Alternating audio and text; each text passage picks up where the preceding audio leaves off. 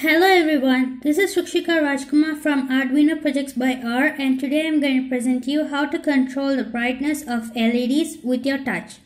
For this you'll be needing a human touch sensor also known as the KY036, an LED, you can use any color you want, an RGB LED module, an active buzzer module, Arduino Nano, 4 push buttons, one 220 ohm resistor, some jumpers and some jumper wires.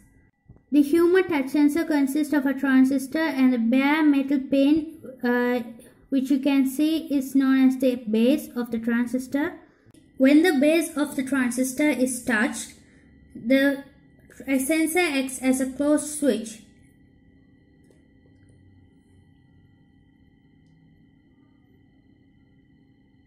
The RGB LED module which I am using has common cathode and it had it also already has three resistors attached to it. This push button is used to control the blue LED over here. This button is used to control the red LED of the RGB LED module. This button for the green one and this one for the blue. I have attached a buzzer module to this circuit to let us know when the LED reaches its maximum brightness.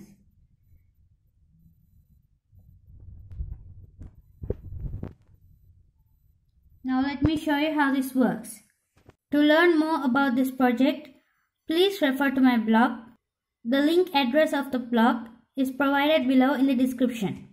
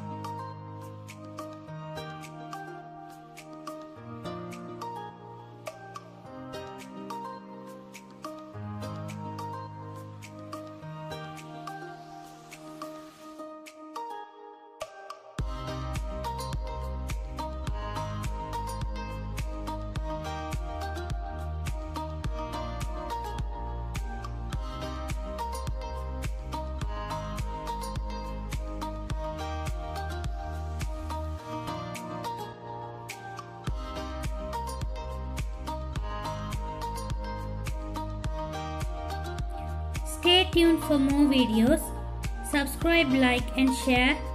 Thanks for watching.